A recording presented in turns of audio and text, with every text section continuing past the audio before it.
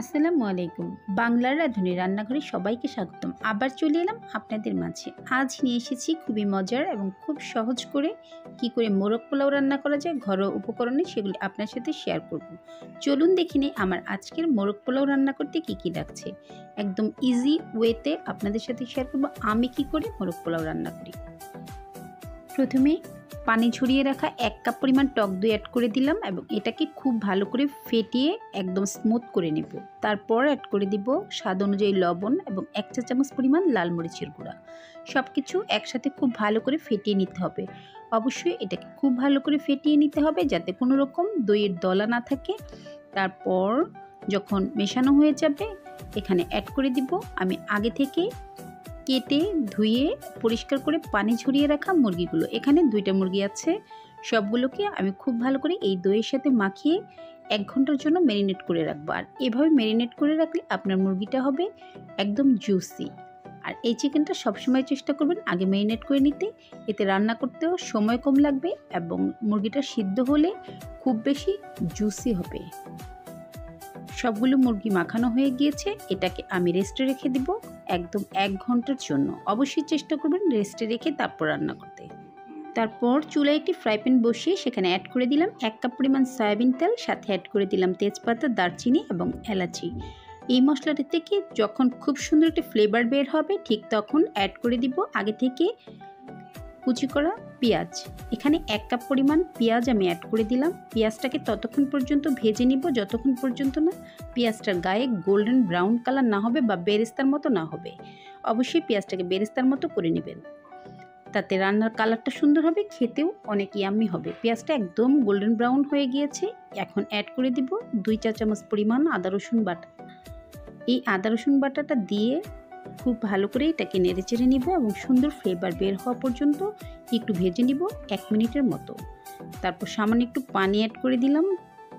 অবশ্যই গুঁড়া মশলা অ্যাড করার আগে আপনি এখানে সামান্য একটু পানি অ্যাড করে নেবেন। এখানে এক টেবিল চামচ পরিমাণ ধনিয়া, এক টেবিল চামচ পরিমাণ গরম মশলার গুঁড়া এবং এক চা চামচ পরিমাণ জিরা গুঁড়া আছে। সবগুলো মশলা খুব ভালো করে আমি কষিয়ে নেব। তারপর এখানে দিয়ে দিব এক চা চামচ পরিমাণ লাল মরিচের গুঁড়া। যেহেতু মুরগি মাখানো তো লাল মরিচ দিয়েছি, তাই বুঝে আপনি ঝালটা অ্যাড করবেন।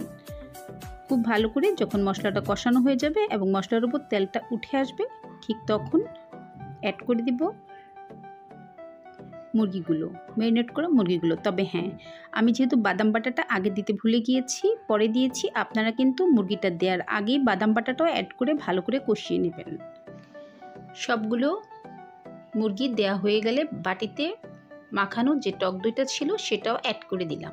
দিয়ে ভালো করে একটু নেড়ে দিতে হবে প্রথমে। নিচ থেকে একটু হালকা করে দিতে হবে যাতে পুড়ে না যায়। আর মুরগি থেকেও যথেষ্ট পরিমাণ পানি উঠবে। মিডিয়াম লো আঁচে রেখে এটাকে আমি ঢেকে দিব আট থেকে দশ মিনিটের জন্য। তবে প্রথমে এভাবে একটু মশলাটা নিচ থেকে আলগা করে দিবেন। ফিরে আসব ঢেকে দেওয়ার দশ মিনিট পর। ঢেকে দিলাম মুরগি মাংসটা। দেখুন, ফিরে এলাম দশ মিনিট পর। এখন মাংসটা থেকে যথেষ্ট পরিমাণ পানি উঠেছিল এবং অনেকটাই তেলের উপর উঠে এসেছে। ঠিক এই পর্যায়ে মুরগিগুলো উল্টে পাল্টে দিব, প্রত্যেকটা মুরগি একদম উল্টে দিব। আর এভাবেই কিন্তু মুরগি মাংসটা আস্তে আস্তে সিদ্ধ হয়ে যাবে। সবগুলো মুরগি উল্টানো হয়ে গিয়েছে। এ পর্যায়ে আমি আবার ঢেকে দিয়েছিলাম দুই থেকে আড়াই মিনিটের জন্য। এখন অ্যাড করে দিলাম সেই বাদাম বাটা। যে বাদাম বাটাটা আমার প্রথমেই দেওয়া দরকার ছিল, মুরগিটা দেওয়ার আগে। সমস্যা নেই, এতেও খুব সুন্দর ভাজা ভাজা হয়ে যাবে। বাদাম বাটাটা দিয়ে আমি আবার মুরগির সাথে খুব ভালো করে মিশিয়ে নেব।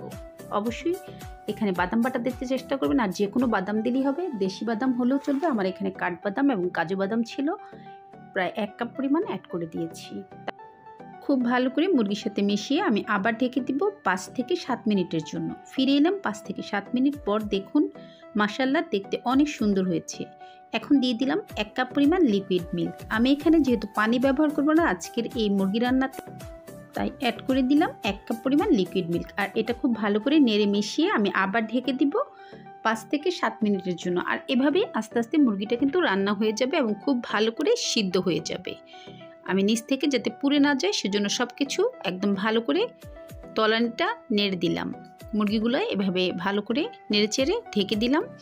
আবার পাঁচ থেকে সাত মিনিটের জন্য আর এভাবেই একদম কমপ্লিট হয়ে যাবে আমার আজকের মুরগি রান্না। চুলায় আর একটি পাতিল বসিয়ে এখানে তিন থেকে চার টেবিল চামচ পরিমাণ সয়াবিন তেল অ্যাড করে দিয়ে দিলাম তেজপাতা, দারচিনি এবং এলাচি। যখন মশলাটি থেকে খুব সুন্দর একটি ফ্লেভার বের হবে, তখন অ্যাড করে দিলাম দুই টেবিল চামচ পরিমাণ কুচানো পেঁয়াজ। এই পেঁয়াজটা একদম ব্রাউন হওয়ার কোনো প্রয়োজন নেই জাস্ট পেঁয়াজটা একটু সফট হলেই আমাদের হয়ে যাবে। যেহেতু পোলাও রান্না করব, তাই পেঁয়াজটা লাল হওয়ার কোনো প্রয়োজন নেই। আজকের মুরগি রান্নাটা, আমি যেহেতু মোরগ পোলাও রান্না করছি, তাই এখানে অ্যাড করে দিলাম এক চা চামচ পরিমাণ শাহি জিরা। দিয়ে দিলাম এক চা চামচ পরিমাণ আদা, রসুন বাটা। অবশ্যই চেষ্টা করবেন শাহি জিরাটা ব্যবহার করতে, এতে ফ্লেভারটা খুব ভালো আসে। তারপর খুব ভালো করে নেড়ে চেড়ে অ্যাড করে দিব। আগে থেকে ধুয়ে রাখা তিন কাপ পরিমাণ পোলাওয়ের চাল। আমি পোলাওয়ের চালটা আগেই ধুয়ে পানি ঝরিয়ে রেখেছিলাম, তাহলে খুব ঝরঝরে হবে আপনার পোলাওটা। খুব ভালো করে কষিয়ে নিতে হবে। আর ভালো করে কষিয়ে নিলেই কিন্তু আপনার মোরগ পোলাওটা হবে একদম দোকানের মতো ঝরঝরে। অ্যাড করে দিলাম ছয় কাপ পরিমাণ পানি। এই পানিটা আমি আগেই আরেক চুলায় গরম করে নিয়েছি। চেষ্টা করবেন পোলাওতে সবসময় গরম পানি অ্যাড করতে। তিন কাপ পোলাওয়ের চালের জন্য এখানে ছয় কাপ পানি অ্যাড করেছি। দিয়ে দিলাম ফ্লেভারের জন্য কিছু কাঁচামরিচ। এ পর্যায়ে আমার চুলার আঁচটা একদম হাই ফ্লেমে আছে। যখন পানিটা ফুটে উঠবে তখন আমি চুলার আঁচটাকে মিডিয়াম লো করে দিব। ভালো করে একটু নেড়ে চেড়ে ঢেকে দিচ্ছি চার থেকে পাঁচ মিনিটের জন্য। এদিকে আমার মুরগিটাও কিন্তু একদম কমপ্লিট হয়ে গিয়েছে। এখন আমি এই মুরগি থেকে মাংসগুলো উঠিয়ে নেব। আর ঝোলটা কি করব সেটা এক পর্যায়ে আপনাদের সাথে অবশ্যই শেয়ার করছি। মোরগ পোলাওয়ের মুরগিটা রান্না হয়ে গিয়েছে, এখন আমি মুরগিগুলো উঠিয়ে নেব। আর ঝোলটাকে আমি দুইভাবে ব্যবহার করব, সেটাও আপনাদের সাথে শেয়ার করছি। আর এভাবে করলেই কিন্তু মোরগ পোলাওয়ের টেস্ট বেড়ে যাবে অনেক গুণ। পোলাওটা যখন এরকম ফুটতে শুরু করবে, তখন আমি অর্ধেকটা পরিমাণ মাংস রান্না করা ঝোল এখানে অ্যাড করে দিব। আর অর্ধেক দেওয়ার পর এটাকে খুব ভালো করে নেড়ে এখন আমি চুলা রাসটা কমিয়ে দিব এবং ঢেকে দিব। এভাবে মুরগি রান্না করা ঝোলটা চেষ্টা করবেন অর্ধেক পরিমাণ দিয়ে দিতে, তাতে মোরগ পোলাওয়ের টেস্ট অনেক বেশি আসে। দেখুন, পানিটা কিন্তু টেনে গিয়েছে। আপনি এ পর্যায়ে অর্ধেক পোলাও উঠিয়ে তারপর মুরগিগুলো অ্যাড করতে পারেন। আর আমি আজকে এভাবেই করব। উপরে সবগুলো মুরগি বিছিয়ে দিলাম। তারপর দিয়ে দিলাম কিছু আলু বুখারা। অবশ্যই আলু বুখারা দিলে মোরগ পোলাওয়ের টেস্ট অনেক ভালো আসে। তারপর অ্যাড করে দিব কিছু কিশমিশ কিশমিশটাও দিতে চেষ্টা করবেন। তারপর অ্যাড করে দিলাম বেরেস্তা। বেরেস্তা দিলে কালারটাও সুন্দর আসে এবং খেতেও অসম্ভব টেস্টি হয়। এভাবে উপর থেকে দিয়ে দিলাম বেরেস্তা। আর দিয়ে দিব এক চা চামচ পরিমাণ চিনি। এই চিনিটা মিষ্টি করবে না, কিন্তু আপনার খাবারের টেস্ট বাড়িয়ে দিবে অনেক গুণ। দিয়ে এভাবে আবার দিয়ে দিব এক চা চামচ পরিমাণ গুঁড়া দুধ। সাথে অ্যাড করে দিব এক চা চামচ পরিমাণ ঘি। ঘি আর গুঁড়া দুধ করবে আপনাকে মাওয়ার কাজ দিবে। দিয়ে দিলাম বাকি যে মুরগি রান্না করা ঝোল ছিল সেটা। ঢেকে দিব বিশ থেকে পঁচিশ মিনিটের জন্য দমে রেখে দিয়েছিলাম। দেখুন, ফিরে এলাম বিশ থেকে পঁচিশ মিনিট পর। একদম রেডি আমার আজকের ঘরোয়া উপকরণে মোরগ পোলাও। তবে এটা শাহি মোরগ পোলাও আপনি বলতে পারেন, যেহেতু শাহি জিরা ব্যবহার করেছি, বাদাম বাটা ব্যবহার করেছি, ঘি ব্যবহার করেছি এর জন্য। দেখুন কতটা ঝরঝরো হয়েছে আর কতটা সুন্দর হয়েছে। সবাই অবাক হয়ে যাবে, আপনার দোকানের মোরগ পোলাওয়ের চেয়ে কোনো অংশে এটার স্বাদ কিন্তু কম না। আপনি ইফতার কিংবা সেহরিতে এটা খেতে পারেন। খুবই মজার এবং বাচ্চা, বড় সবাই পছন্দ করবে এইরকম একটি মোরগ পোলাও যদি আপনি রান্না করেন। সাথে কিছু সিদ্ধ ডিম অ্যাড করে দিয়েছি। একদম রেডি আমার আজকের ঘরোয়া মশলায় মোরগ পোলাও। দেখতে যতটা সুন্দর, খেতে কিন্তু তার চেয়েও বেশি মজার ছিল। আপনি যে কোনো কিছু দিয়ে ডেকোরেশন করে খেতে পারেন। আমার ছেলেরা এই মোরগ পোলাওয়ের সাথে একটা পেঁয়াজের রায়তা হয়, টক দই এবং পেঁয়াজ দিয়ে ওরা খুব পছন্দ করে, আমি সেটা সবসময় করি।